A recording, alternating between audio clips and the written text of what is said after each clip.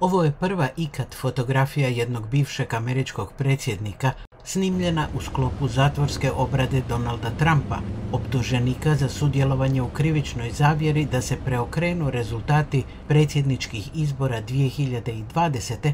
u saveznoj državi Georgiji. Trump je kasnije novinarima rekao da njegovi protivnici pokušavaju omesti njegovu kandidaturu za stranačku predsjedničku nominaciju. Trenutno vodeći među kandidatima za republikansku nominaciju, Trump nije uhapšen i može i dalje voditi svoju predizbornu kampanju. Now this could get quite messy. To bi moglo postati prilično zbrkano, jer je raspored suđenja u veliko jednak kao i raspored izbora.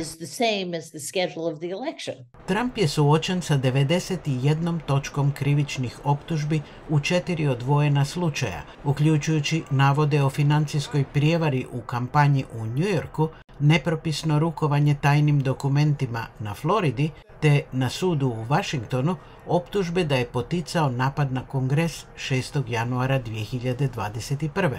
No neki analitičari smatraju da su optužbe u Georgiji najteže.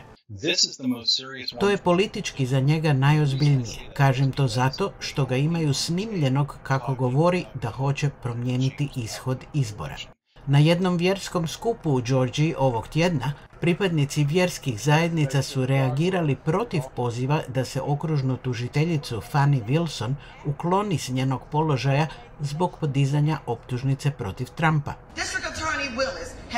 Okružna tužiteljica je pokazala hrabrost, integritet i nepokolebivu predanost principima pravde koji leže u srcu našeg pravnog sistema.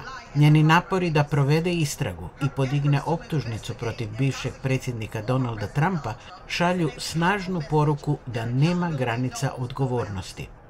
Deseci pristalica bivšeg predsjednika jučer su na ulici kritizirali optužbe.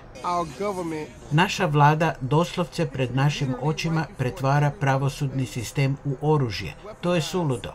Analitičari kažu da bi veliki broj suoptuženika mogao biti ključni faktor u dokazivanju slučaja protiv Trumpa. Kada krivični slučaj ima više branjenika, mnogi od njih mogu odlučiti da se nagode sa tužiteljima da bi smanjili vlastitu kaznu. Ali da bi to dobili, moraju pristati da pruže dokaze koje tužitelj još nema. Okružna tužiteljica Fanny Wilson je zatražila od suda da suđenje Trumpu i njegovim suoptuženima počne 23. oktobra ove godine. Trump je jučer uložio svoje protivljenje tom roku.